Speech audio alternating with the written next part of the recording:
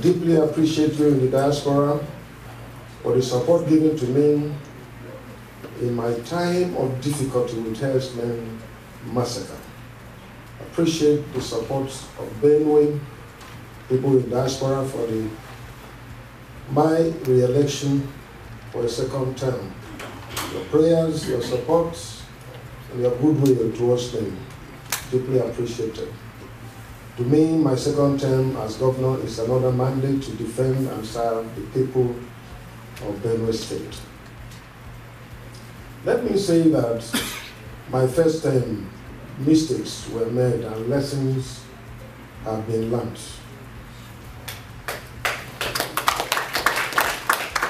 Now, no political godfather, and so I'm determined to provide dividends of democracy to the people of Benue. And I take responsibility for all that happened in Benue State now as a leader. Successes and failures. I take responsibility. I don't want anybody no more blame on anyone. Anything that happens, as governor of Benue State, I take responsibility. The analysis of current security challenges standing. Fulani herdsmen violent attacks started two decades ago. As for today, herdsmen have attacked 19 of the 23 local governments, claiming over 5,000 lives between 2013 to 2018 over 195,000 homes, 30 churches, property worth billions destroyed by herdsmen attack. That is the map. As you can see, just four local governments that are lucky that were not attacked, Otukpo, Konshisha, Ushongo, and Balika. Government response to the attack. Federal government failed to curb the crisis at the beginning despite reported ends. Within this, you permit me to just give you some headlines. Right from when this thing started, publications from the media, people took responsibility. And these were Fulani men. They, in this reportage while we keep 86 persons in Plateau State. Miyetti Allah breaks silence. The killings in Plateau State by Fulani nationality movement will remain solid and unshaken by the winds. These are coming from human beings, not just ghost people. Another one, why we keep 86 persons in Plateau State. Same Miyetti Allah will justify this. Another publication, Fulani Herdsmen Crisis, Struggle for Natural Resources. So it wasn't about um, grazing, as they say. But this particular one, I want to just read the whole statement by FUNAM Fulani nationality movement, after intensive deliberation on the state of the nation in the context of the recent killings and national uproar made today in Kano, the capital of Kano State, among others things, the FUNAM deliberated on attacks on cattle by rustlers, kidnap of Fulani men and women in some parts of Nigeria, displaced of Fulani traditional settlement in northern Nigeria and some parts of southern Nigeria. Stealing of property belonged to Fulani cattle herders and so on. The group also deliberated on the situation in Nigeria by the irresponsible calls for restructuring of Nigeria.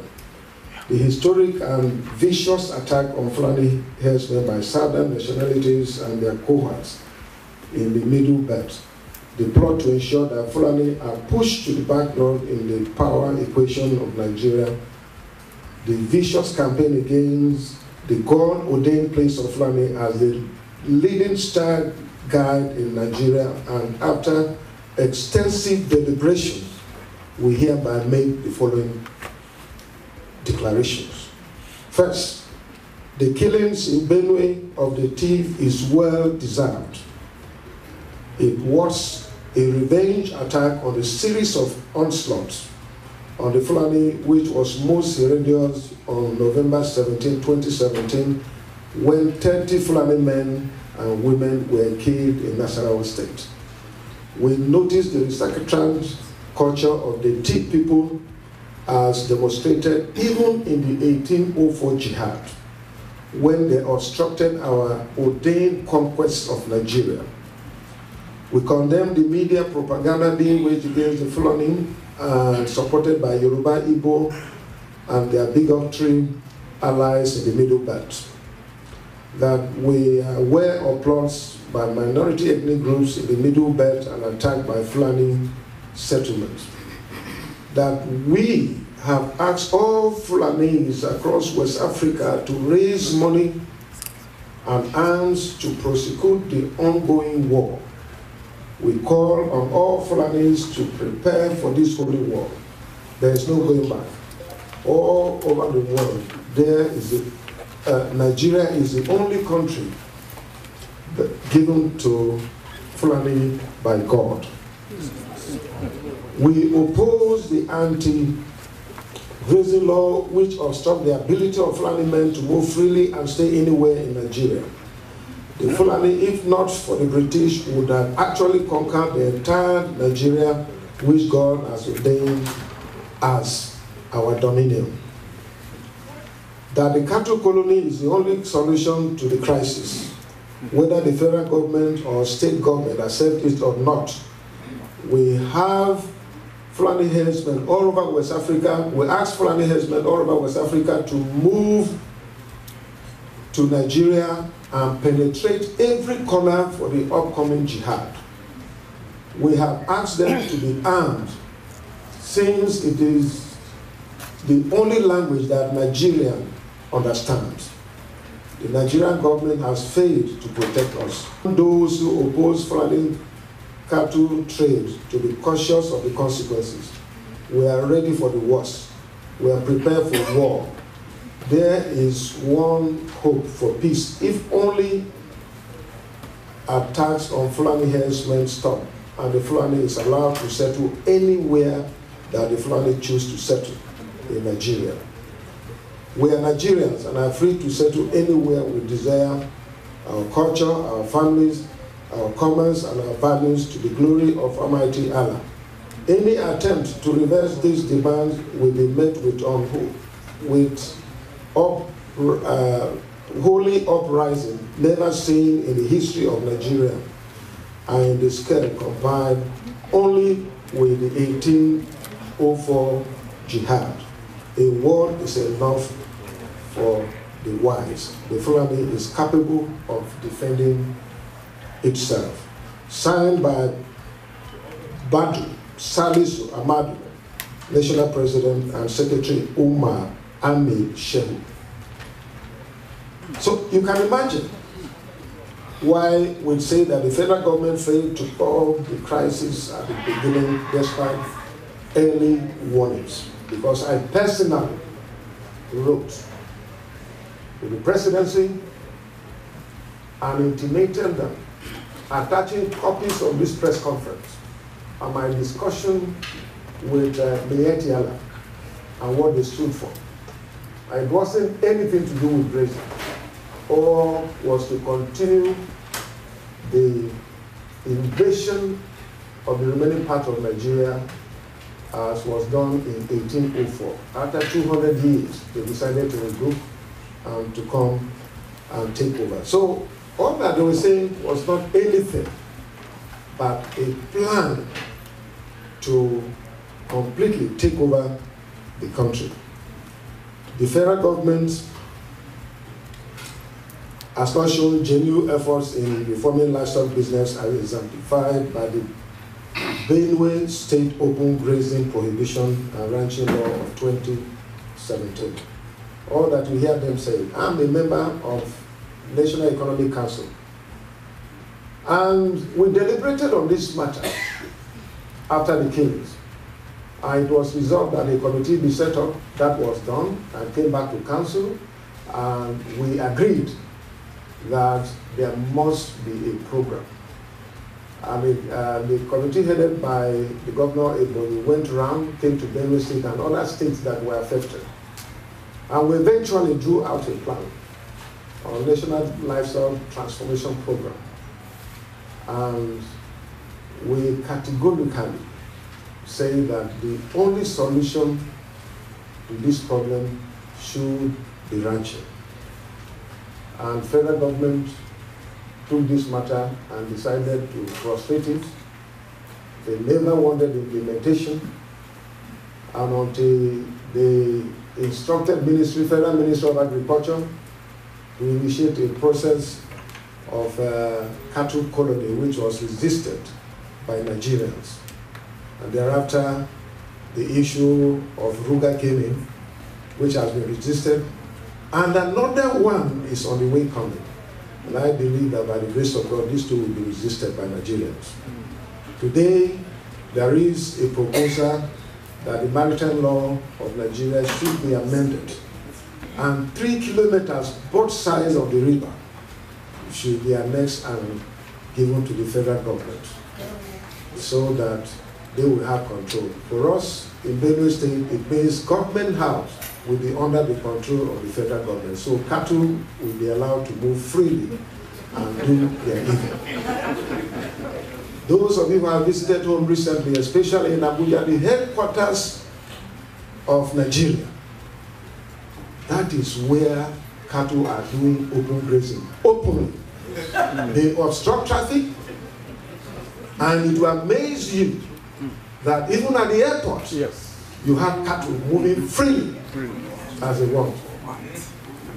On the wrong way they move. They are all over the place, eating flowers and all those things, obstructing people from entering their offices. It's a normal thing that is happening. So government has not shown any kind of commitment at that level. Otherwise, what we did was a painstaking uh, research that we conducted, and we discovered that ranching remains the global best practice for animal husbandry. And this went through the process, and it was passed, and that is what is being obtained. And I think that the federal government will need to be sincere to address this matter. I believe that they have the capacity if they want. Today, with the atrocities that they committed by herdsmen in Nigeria, compared to IPOB, and then compared to the recent Shad movement in Nigeria, why have these two groups been proscribed? Why have they not been branded terrorists? Looking at the magnitude of the destruction and the pains and the killings that have been inflicted on Nigerians. Today, all parts of Nigeria are wallowing in pain for attacks of Fulani men. Even yesterday, I heard, or rather today, when I was reading on social media, it was reported that the Reverend Father was killed by herdsmen. Why should you live in a country in the 21st century that government is not ready to take steps that can address the challenges that we have? The recent uh, comment by Mr. President in Dubai that I am responsible for not accepting uh, open grazing, and that is why there are crises in Nigeria. It is true, he said it. Several times he cautioned me and told me that until we go back to 1950. But I told him we're in 2017 and 2018. So why should we be talking about 2050? Because in 1950, when cattle routes were designated and created and grazing areas were carved, what was the total population of Nigeria? Hmm. Less than 40 million people living in Nigeria. Today, by approximation, we have more than 200 million people with a landmass of still um, uh, uh, 90, uh, uh, 923,000 square kilometers. but even less because of good uh, desert encroachment, ceding of Bakassi to the Cameroons. And so, those cattle routes and grazing areas that were designated are now occupied by human activities. So we must try to look at what other countries are doing. This has been my explanation and justification for uh, presenting an executive bill to the Assembly for the restriction of cattle movement in Benue State. Because those cattle routes they are talking about, they are no longer there. Those grazing areas they are talking about, they are no longer there. And in Benue State, even in 1950s when these cattle routes were created, none was gazetted in Benue State. So you cannot hold us responsible. If others were gazetted in the north and other states, people are free to go and do their open grazing in those areas. But my argument has always been that we must be proactive as we are growing and the population is also growing. We must look at the alternatives that can bring peace for farmers and herdsmen. For us in Benue State, as it is today, the, there are communal issues that we're trying to manage. The people are fighting themselves, as we heard earlier. We have struggled, we have suspended chiefs, we have done several things to ensure that we have peace because the land is no longer there.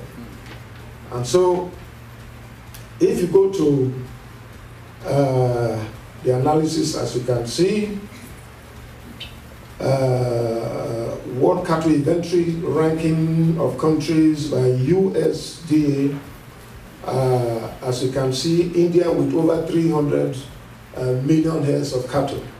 Brazil 226, China over 100, in America here over 93 million, uh, European Union 89, and so on, as you can see.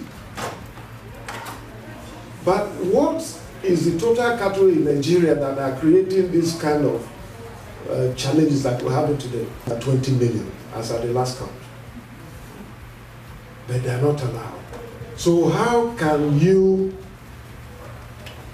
marry what is happening in India with over 300 million cattle. But yet, you hardly see cattle roaming about. I was in Swaziland some few years ago, a very tiny country in the southern Africa. And there too I was told that their major export earning is beef and milk. But yet they ranch. And I saw those ranches myself. Small stakeholders, farmers, were able to provide ranch at their backyard and provided feeds. And my argument has been that there are multiple advantages in uh, adopting ranching for both farmers and herdsmen. One, herdsmen will no longer live with reptiles in the forest. They will stay at home, their children will go to school. For the farmers, their waste can be good fields for the herdsmen, they treat people eat a lot of meat. And so during festivities, they go to get these fees. But you can also pay a token to collect rice, straw, soybean straw, and other agricultural waste to feed your cattle. And so it is the same trade by barter. You do me, I do you. That one God will not vex. so they say So, and these people have an agenda. As I read, you can see that it is clear. If it were about cattle business, they would have accepted ranching because it's the best approach. In fact, in Nigeria, I'm told that Americans cannot eat our beef back home because it's more of fiber than meat. Because the way they trek from Sokoto to Lagos and Harcourt. And no milk that is nutritious gets into your system. You're drinking their milk, it is nothing. It has no nutrients there to support the body. And the meat, there is nothing. So, this is the challenge we have. The federal government, as I said, have refused to adopt an approach that will solve this problem. And uh, that makes me to believe that maybe they also have and the general. And I believe that Mr. President is not aware of these things that are happening. And I'm very happy with the recent appointment of ministers. Those people that created problems for us, especially in Benue State, they were excluded. Like the former Minister of uh, Interior, the former Minister of uh, Defense. uh, uh, Defense, No, not the former Minister, uh, named the Inspector General of Police. These were people who were not interested in finding a solution to this problem. All their comments were to paint Benue in bad light. But I appreciate Mr. President because such advisors cannot effect development for a country, Nigeria. For we uh, strongly oppose the grazing reserves, grazing routes, uh, cattle colony, and rural settlements. It is not accepted in Benue because we don't have the land.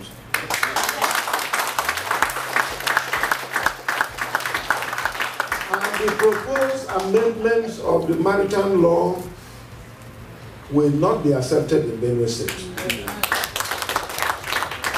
Because we have two rivers in Benue State, Benue and Katsina-Ala. If you allow that law, and I'm happy that our legislators are here at the national level representing us, and it is a challenge, and I believe that we will take up this and uh, ensure that we preserve the land on our behalf. In my own local government, if you take three kilometers from both sides of the river, then the entire local government will be under uh, federal government. And then I have no control whatsoever. And the land use act gives responsibility to the state. And so on this we stand, and I believe that for Benue, I am working closely with my legislator at the state level and at the federal level, but we're working together and we have all discussed this. And this will not be allowed, at least in Benue State. If other states will allow it, for us in Benue State, we are not going to allow it. The challenges are many, but we are, the, our determination is enormous. They are convinced and determined to explore every available opportunity within the law to provide security for life and property, advance development and progress of Benue State. From all indication and from what you have heard, from what you have seen, this is the Nigeria that the Fulanis want in our country. And that is why we are resisting them. We cannot be slaves to Fulanis in Nigeria. We have allowed them the right to live. They are free to live in Benue State, but we are insisting that any Fulani man who wants to live in Benue State and do cattle business must ranch. Hmm. If you don't ranch, you can look for an alternative place. If you want to live in Benue State and do any other type of business, you're free to do so. No one will harass you. And under my leadership, I'm ready to give protection to all. Nobody will be exempted. And in fact, our law prohibiting open grazing is being enforced and implemented. As I talk to you, we have succeeded in convicting 81 people who violated our law. And this include indigenous, Tivs, and Idomas who violated the law. The majority of them are Fulanis. And anywhere we see cattle doing open grazing, we apprehend such cattle. And when they run away, the headers run away, we arrest the cattle. Yes. The, the, the provisions of the law is that we arrest the cattle, so we have been arresting them. And the provision is that you quarantine them for seven days. And if the owner does not come to collect, you auction them. And so, and so, so far, the close to 3,000 cattle were arrested through our livestock guard and quarantine. They came, and some of them were arrested them and were prosecuting them. Mm-hmm. but they paid fines, and so we allowed them to transport them by vehicle out of Benue State. Mm-hmm. So our law is being implemented 100%. And so these are the destruction that uh, we had during those are some of the destructions. Like I said, the destruction was enormous. Uh, what you saw there was a farmer's warehouse, uh, of course, farmer's store. Here is one of the clinics that was destroyed. Here is a church that was destroyed, and several primary schools and secondary schools were also part of it. These people, they have an agenda, as I said, because destroying schools, destroying health facilities, destroying homes, and uh, even killing with gun and still uh, butchering those people was a clear indication to put fear into us so that we will not attempt to challenge them. But for us in Benue State, we are determined more than ever. If our forefathers in 1804 resisted them, why can't we do it at this time? So the challenges of our administration have been security, infrastructure, education, uh, infrastructure, energy shortages, unemployment burden, health and sanitation issues, agriculture and development, commerce, investment, and industry, banditry, thuggery, militancy, uh, of course, uh, economy has been a problem. Um, Benue State may interest you that we have the highest wage bill in, in Nigeria after Lagos and Rivers State. Benue State is a big challenge. No industries. The issue of IGR has become a very big problem in trying to raise money to augment what we get from the Federation account. And all these challenges we have talked about here uh, it's about ensuring that we have money to be able to contain with them from unemployment to all those on agriculture and development and so on. Banditry is a big challenge and armed robbery. These are local criminal uh, things that are happening within the state. We're doing everything possible, but we're still having these challenges apart from the communal clashes that we have once in a while with our communities. Uh, one notorious bandit, uh, Gana, uh, created so much pains. Outside the Fulani herdsmen, I think this is uh, the worst thing that Benue State have had.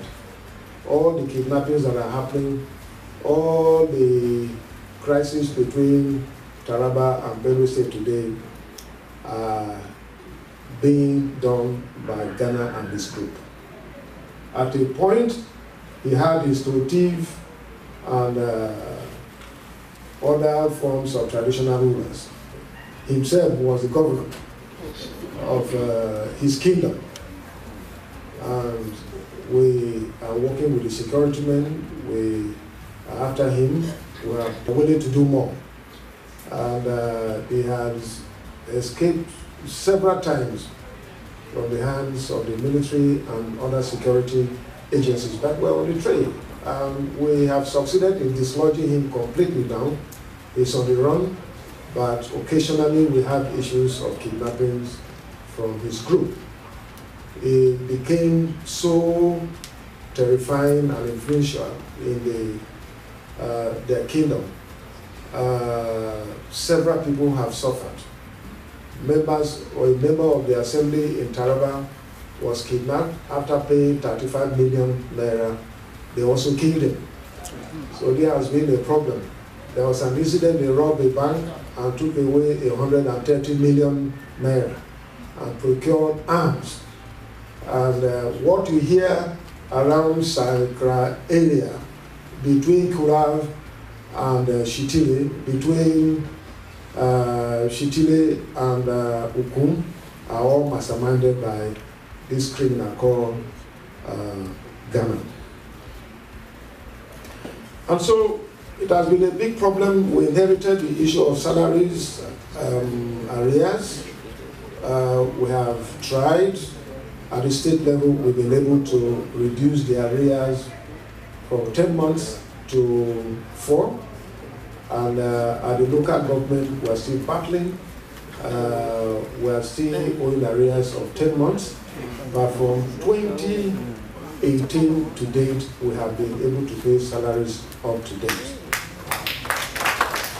Pension and gratuity, we have recently, through the House of Assembly, enacted a law to domesticate the Pension Act, and we believe that this will go a long way in facilitating us to secure money at friendly interest rates to be able to solve the issue of arrears of pension and gratuity and uh, uh, so on.